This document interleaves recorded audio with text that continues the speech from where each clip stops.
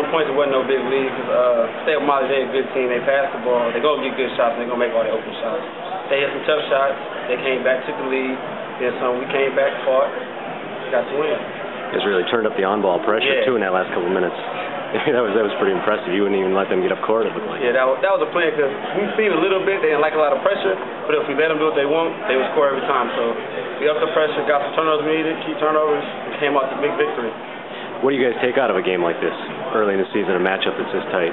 Oh, we take a lot of hard work out of this because that means all the hard work and practice is paying off. Cause we come off a tough loss to high pressure, everybody knows. We were predicted to lose, and we overcame all the little publicity talk and all that. And Gerard came with a big rebound and won us the game. Uh, tell me about that last play then.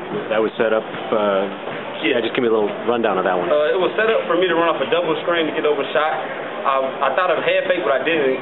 Kind of adjusted in the air, and he blocked it. Gerard, he's always he wants everything to hit the air, so he went and got it. Took a power dribble, went up strong, and he finished it, and we won the game.